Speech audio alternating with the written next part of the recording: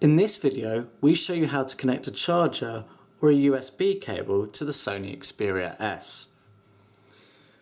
To connect such a cable, take your device and turn it on its side. You will see a USB symbol.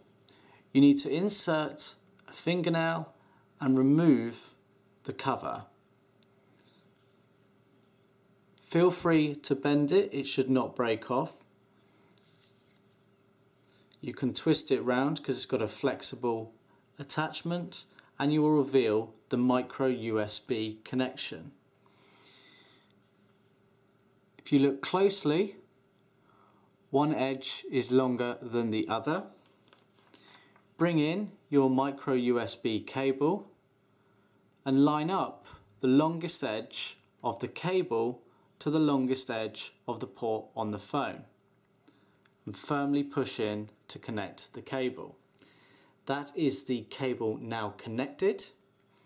The port cover will remain attached but loose like so.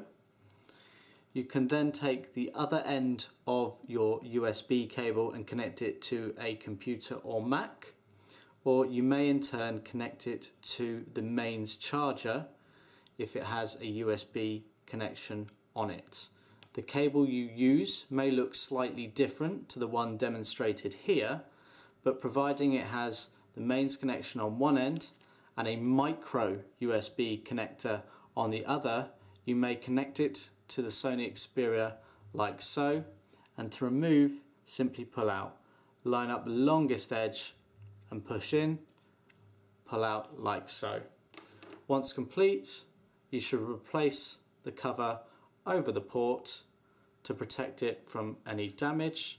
Can be a little bit fiddly, but don't be afraid to be firm with it.